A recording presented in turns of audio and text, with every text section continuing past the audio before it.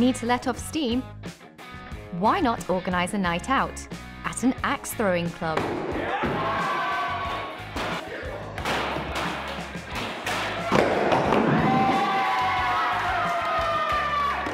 Yes, hatchet throwing is the latest hipster hobby, sweeping America, with multiple venues opening all over the country.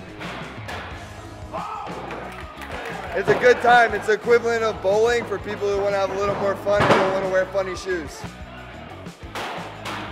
Hatchet throwing involves groups competing to hit a target with a 14 inch axe. This New Jersey venue is the first to allow customers to bring their own beer, perhaps throwing caution as well as hatchets to the wind. Luckily, there haven't been any accidents here to date, Or alcohol and hatchets, that doesn't sound too smart. We've heard that several times. You're playing a game with rules and it's in a very controlled and safe environment. and any throwers with a real life axe to grind can book one of this venue's Axe Your Ex divorce parties.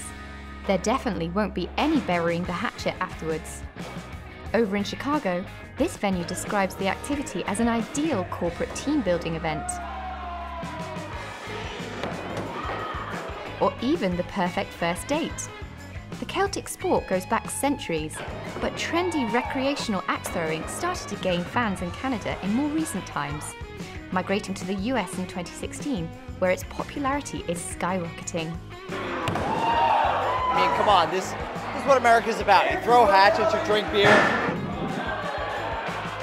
So why not give hatchet throwing a go? You might discover an accidental talent